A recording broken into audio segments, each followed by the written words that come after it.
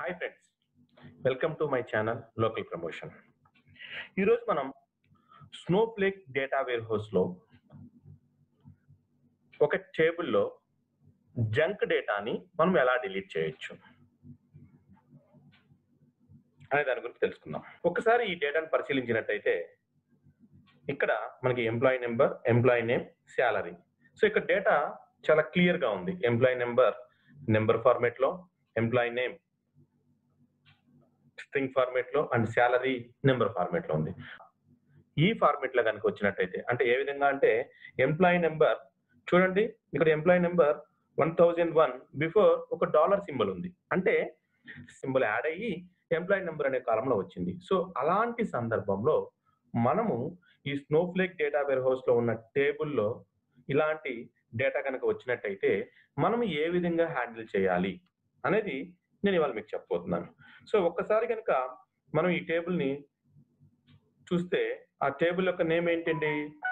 Junk EMP ఆ table name ఏంటి? Junk EMP so ఆ టేబుల్లో ఏ కాలంలో మనకి ఆ డేటా వచ్చింది? Employee number. ఒకసారి ఆ ఒక్క ఆ ఒక్క కాలంలో తీసుకుందాం. ఒకసారి మనం ఆ ఒక్క కాలంని పరిశీలించినట్టయితే employee number from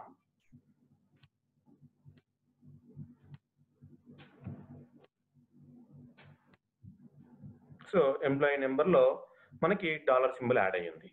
సో ఈ డాలర్ సింబల్కి తీసివేయాలి మనం. అది తీసేయాలంటే ఒకసారి మనం employee number as new employee number from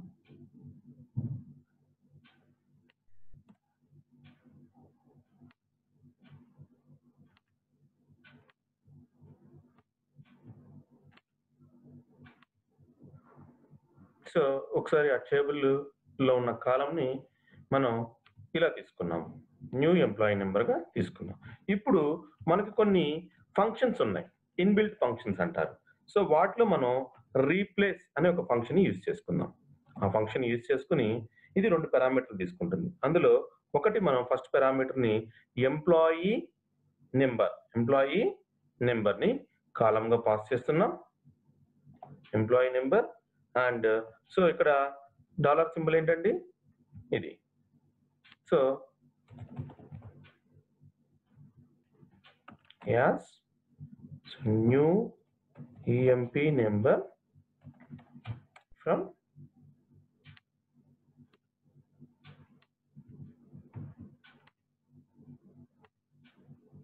so replace అనే ఫంక్షన్ ద్వారా నేను ఆ కాలంలో ఉన్న డాలర్ సింబల్ని ఎలిమినేట్ చేశాను. ఒకవేళ కనుక మనం ఇక్కడ నాకు ఆ డాలర్ బదులు ఇంకేదైనా సింబల్ పెట్టమంటే పెడుతుంది. కానీ ఇక్కడ నేనేం చేశాను? ఏ పారామీటర్స్ పాస్ చేయలేదంటే దాని మీనింగ్ ఏంటంటే అది ఆ పారామీటర్స్తో ఆ పారామీటర్ ఉన్న స్థానంలో ఏం లేకుండా తీసుకుని ఎగ్జిక్యూట్ అయింది అనమాట సో ఇప్పుడు నేను ఒకసారి చెక్ చేస్తాను. సో సెలెక్ట్ స్టార్ ఫ్రమ్ టేబుల్లో పర్మనెంట్గా పోయిందా లేదని నేను ఒకసారి చెక్ చేసుకుంటున్నాను. సో ఎంప్లాయీ నెంబర్ స్థానంలో డాలర్తో కలిపి ఉంది. సో అంటే ఏంటి? నేను అప్లై చేసిన ఫంక్షన్ రీప్లేస్ అనే ఫంక్షన్ను మనకి ఆ రన్ టైం చేసినప్పుడు మాత్రమే కనబడుతుంది. కానీ పర్మనెంట్గా పోలేదు. సో మరి దానికి పర్మనెంట్గా పోవాలంటే ఏం చేయాలండి? సో దానికి నేను ఈ కమాండ్ వాడతాను. అప్డేట్ అనే కమాండ్ వాడుతున్నాను సో అప్డేట్. సో ఏ ఏ టేబుల్ చేయాలి మనం? ఈ టేబుల్కి update table set. Column name ఏంటి? Employee number. Employee number. So ఒక్కసారి ఈ ఫంక్షన్ తీసుకుందాం మనం.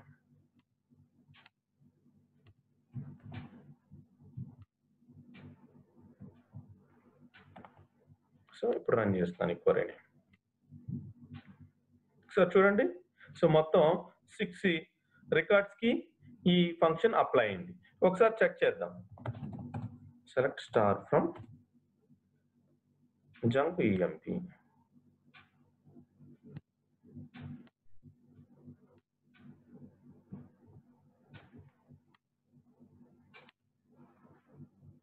excellent so ఇప్పుడు ఎంప్లాయీ నెంబర్లో డాలర్ సింబల్ని పూర్తిగా తీసేసింది. అంటే ఈ విధంగా మనం రీప్లేస్ అనే ఫంక్షన్ ఉపయోగించి రన్ టైంలో డేటాలో నుంచి ఆ డాలర్ని తీసేయచ్చు.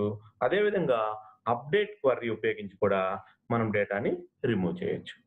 Thanks guys thanks for watching my video మీకు కనుక నా వీడియో నచ్చినట్లయితే నా ఛానల్ని లోకల్ ప్రమోషన్ అనే ఛానల్ని సబ్స్క్రైబ్ చేసుకున్నట్టయితే స్నోఫ్లేక్ డేటా వేర్ హౌస్కు సంబంధించిన అప్డేట్స్ అన్ని మీకు అందుబాటులోకి వస్తాయి థ్యాంక్ యూ